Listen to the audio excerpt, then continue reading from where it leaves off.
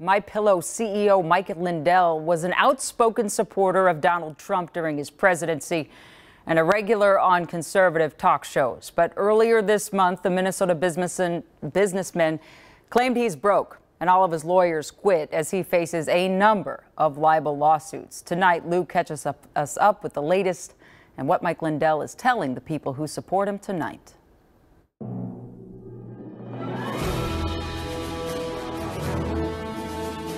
This is the Lindell Report. On his online TV show, Minnesota's Mike Lindell, once a wealthy businessman and avid supporter of Donald Trump, made this stunning announcement this month. I ran out of money. I have no money personally, nothing left, nothing left. No money, he says, to pay the law firm defending him that's already owed millions. Now, during this time, we can't pay lawyers.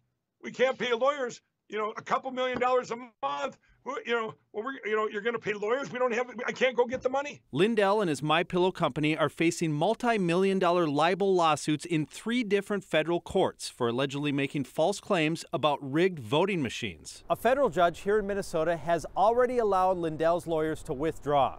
Similar motions are pending in separate cases in Washington, D.C. and Denver, Colorado. Tell us your full name, please. Michael James Lindell. In the Colorado case, a judge is also considering sanctions against Lindell for his disruptive testimony in videotape depositions, including insults like this. How dare him come and sue my pillow? He's a scumbag for doing that.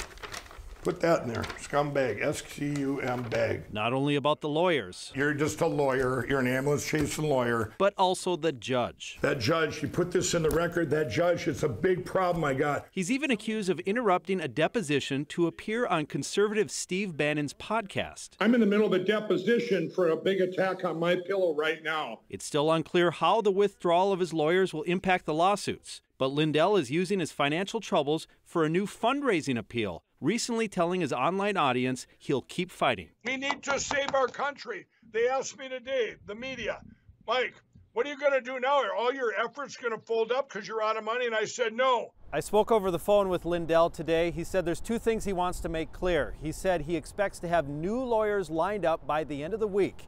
And concerning that statement that he's out of money, he specified that means he himself is out of money. He says his company, My Pillow, is doing just fine.